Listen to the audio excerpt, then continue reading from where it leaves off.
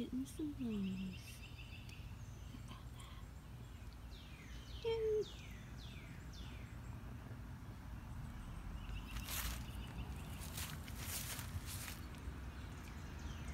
have to tweak this a little.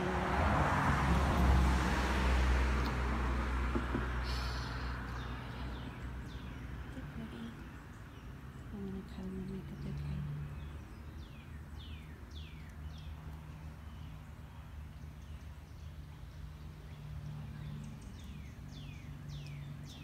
grass.